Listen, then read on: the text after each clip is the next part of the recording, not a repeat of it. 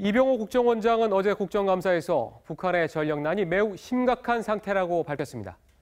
북한 지역 곳곳에서 작년 말부터 물과 전기가 끊기면서 주민들이 시당위원회에 몰려가 항의하는 사태도 벌어졌다고 했는데 TV조선이 취재해보니 실상은 더 심각했습니다.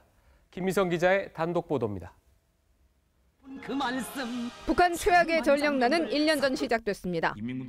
지난해 10월 26일 북한 당국은 전기를 망탕, 즉 흥청망청 쓰다 걸리면 사용할 거라고 주민들의 엄포를 내렸습니다. 비생산 부문 전력 공급도 끊었습니다. 11월에는 탄광 채석 작업이 중단됐습니다.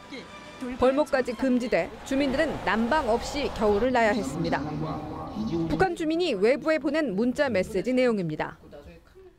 추워 죽을 지경이오. 뗄 걱정, 전기 걱정, 물 걱정, 먹을 걱정까지 걱정 안 할 일이 없으니 지난 1월 5차 핵실험 이후 대외 교역이 타격을 받으면서 물, 전기, 물자 부족 사태는 더 극심해졌습니다.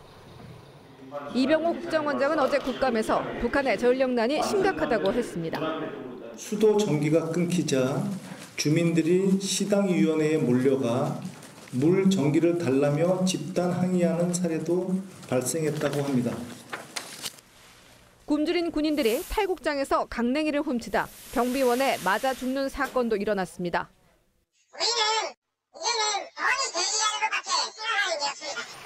핵실험 두 달 뒤부터는 중국이 물자를 끊을 거라는 소문이 돌아 장마당에서 사재기 열풍이 일어났습니다.